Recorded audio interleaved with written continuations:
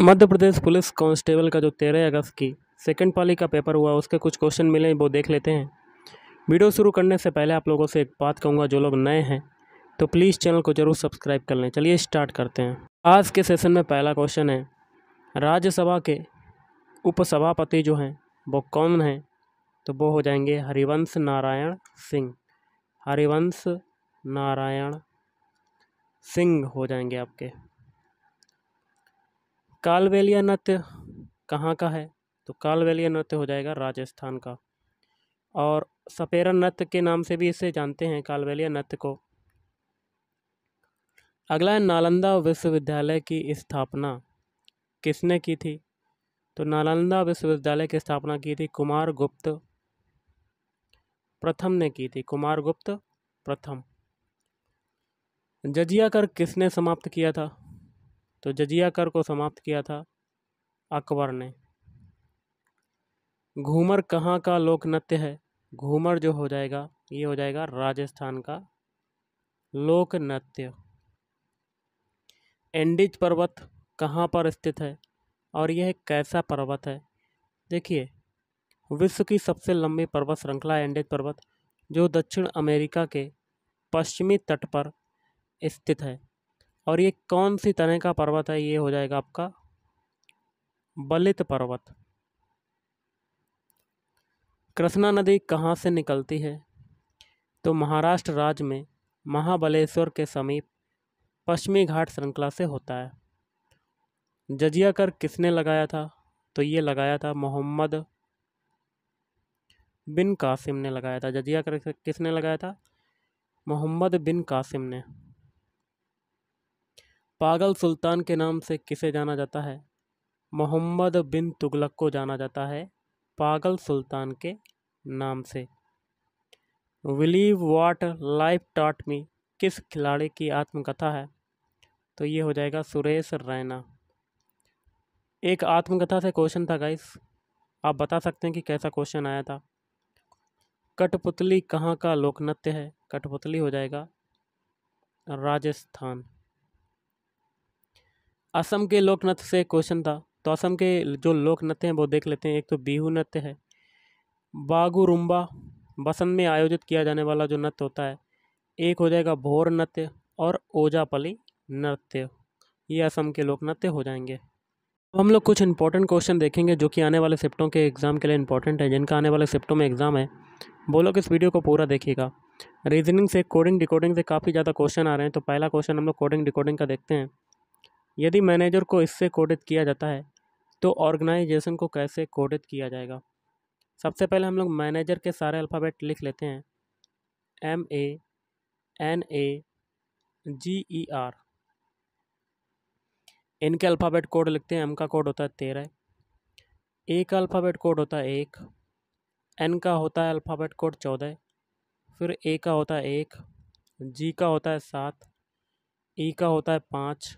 Are का होता है अट्ठारह इससे आपका क्या बन रहा है? N Z O Z H D S अब इनके भी अल्फ़ाबेट कोड लिखते हैं। एन का कोड होता है चौदह। जेड का होता है छब्बीस। ओ का होता है पंद्रह। जेड का फिर छब्बीस होता है। एच का होता है आठ। डी का कितना होता है? चार। एस का होता है उन्नीस। अब देखिए, तेरह से चौदह बना, आपका एक जुड़ा। एक से छब्बीस बना, एक घटा। चौदह से पंद्रह बना, एक जुड़ा। एक से छब्बीस बना, फिर एक घटा। सात से आठ बना, एक जुड़ा। पाँच से चार बना, एक घटा। और अठारह से उन्नीस बना, एक जुड़ा। मतलब एक सीरीज़ चल रही है इसमें। पहले एक जुड़ रहा है, फिर एक घट रहा है, फिर एक जुड़ रहा है, फिर एक घट रहा है। यही तरीका हम लोग ऑर्गेनाइजेशन के अल्फ़ाबेट कोड में लगाएँगे। सबसे पहले हम लोग ऑर्गेनाइजेशन के सारे के सारे अल्फ़ाबेट लिख लेते हैं। O R G A N I S A T I O N इनके अल्फ़ाबेट अब हम लोग कोड लिखते हैं सबसे पहले तो। ओ का अल्फ़ाबेट कोड कितना होता है? पंद्रह होता है। आर का कितना होता है? अट्ठारह होता है। जी का अल्फ़ाबेट कोड होता है सात। ए का होता है एक। एन का होता है चौदह आई का होता है नौ एस का होता है गाइस उन्नीस ए का फिर एक होता है टी का होता है बीस आई का होता है नौ ओ का होता है पंद्रह और एन का होता है चौदह। तो सबसे पहले हम लोग एक जोड़ेंगे। पहले एक जोड़ेंगे, फिर एक घटाएँगे। तो पंद्रह में एक जोड़ा तो आपका आ गया सोलह। फिर अठारह में एक घटाया तो आपका आ गया सत्रह। सात में फिर एक जोड़ेंगे तो आ जाएगा आठ। अब एक में एक घटाएँगे तो आ जाएगा पीछे से छब्बीस। फिर चौदह में एक जोड़ेंगे तो आपका आ जाएगा पंद्रह। नौ में एक घटाएँगे तो आपका आ जाएगा आठ। उन्नीस में एक जोड़ेंगे तो आपका आ जाएगा बीस। एक में एक फिर घटाएँगे तो आपका आ जाएगा फिर से छब्बीस। अब बीस में एक जोड़ेंगे तो आपका आ जाएगा इक्कीस। अब नौ में हम लोग एक घटाएँगे तो आपका आ जाएगा आठ। पंद्रह में एक जोड़ेंगे तो आपका आ जाएगा सोलह। अब चौदह में एक घटाएँगे तो आपका आ जाएगा तेरह। इनके अल्फ़ाबेट लिख देते हैं। सोलह किसका होता है? सोलह होता है पी का। सत्रह किसका होता है? क्यू का। आठ किसका होता है? एच का। छब्बीस होता है? जेड का। पंद्रह होता है? ओ का। आठ फिर एच का होता है? बीस होता है टी का। छब्बीस होता है जेड का। इक्कीस किसका होता है? यू का। आठ होता है एच का। सोलह होता है पी का, तेरह होता है एम का।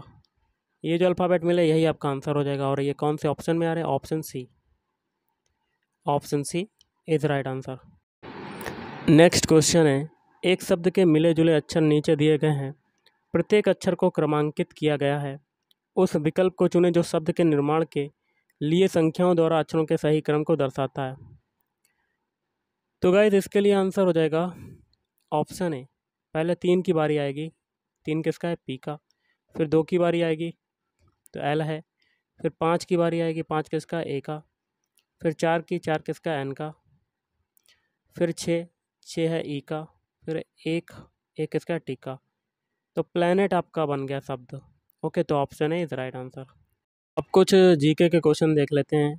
पहला है, कौन पहली महिला, भारतीय महिला क्रिकेट खिलाड़ी मेरिले बोन क्रिकेट क्लब की मानद आजीवन सदस्यता के रूप में शामिल की जाने वाली हैं। शामिल हो चुकी हैं तो ये हैं अंजुमा चोपड़ा। निम्नलिखित विटामिन में से रुधिर स्कंदन में किसकी भूमिका है? ऑप्शन बी, विटामिन के। किस सिख गुरु ने जफरनामा की रचना की? गुरु गोविंद सिंह।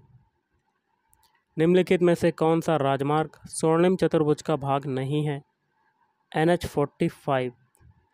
अगला निम्नांकित में से कौन सा जिला मालवा क्षेत्र में नहीं आता? मांडला। निम्नलिखित में से कौन हाउस ऑफ़ एल्डर्स भी कहलाता है?